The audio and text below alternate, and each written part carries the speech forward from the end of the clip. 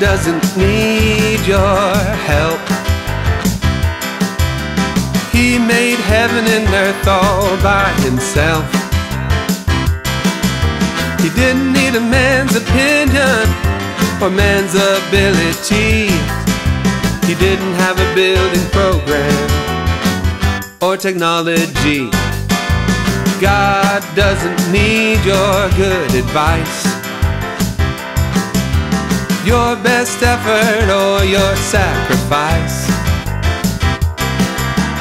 You cannot impress Him no matter what you do.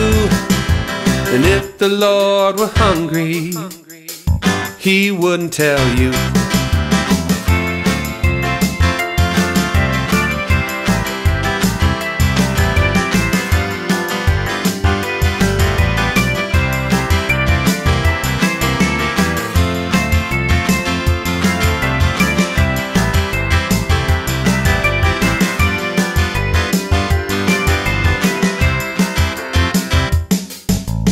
God doesn't need your help.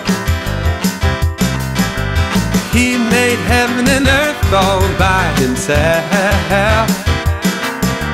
He didn't need a man's opinion or man's ability. He didn't have a building program or technology. No, God doesn't need your good advice your best effort or your sacrifice.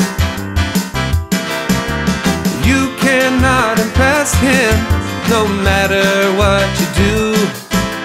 And if the Lord were hungry, he wouldn't tell you.